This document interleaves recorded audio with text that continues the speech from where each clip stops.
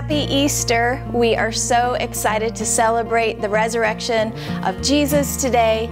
And we've been praying for you all throughout this week that the Lord will be present in your homes and that as you're working from home that you would just have a refreshed sense of God's presence. And if you are a part of family ministries, you have children, we encourage you to join Parents at CLC and that's on Facebook. You don't want to miss it because they've been doing a scavenger hunt and whoever wins the scavenger hunt will get a, a Razor scooter. They're going to be tallying all of those um, raffles up tomorrow on Monday. So go ahead and join the Facebook page, Parents at CLC.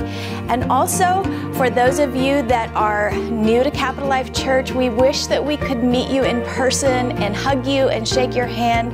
We're so glad that you found us, and we'd love to talk to you face to face. And right after the service today, we will be sharing with you how you can join a Zoom call and Pastor Julie and Pastor John will be there to answer any questions that you might have.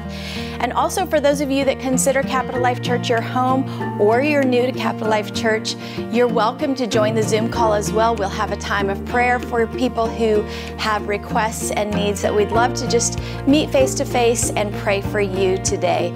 And then for men, don't forget coffee time with Pastor on April 18th on Saturday at 8 a.m. You don't want to miss that. It's going to be a great time on Zoom call again. We're doing a lot of Zoom calls, and it's been a wonderful time. I know Friday night was an amazing time of prayer, and Boris and Victoria were so thankful for their ministry and how they have been praying for you, praying for our nation's leaders, praying for those around the world who have suffered through this virus. And we're praying that the virus will end and that God will just be present in so many people's lives in a way that is fresh and new like it's never been before And at the end of the service, Pastor will be leading us through a time of communion.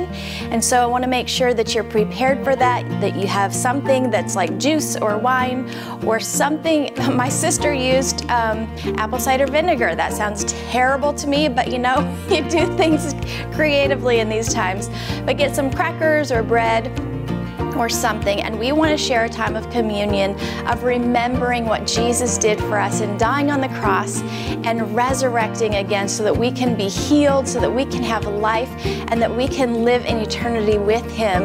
And so today, we're so thankful to be able to be with you in spirit, online, and of course, set up your um, chat so that you can be on live chat. It's just a wonderful time of connecting together. And remember, kids, go to Kids Corner on our YouTube page. You don't want to miss it. There's all kinds of fun things to do, activities with your family, and God bless you. We cannot wait to be with you together in person again.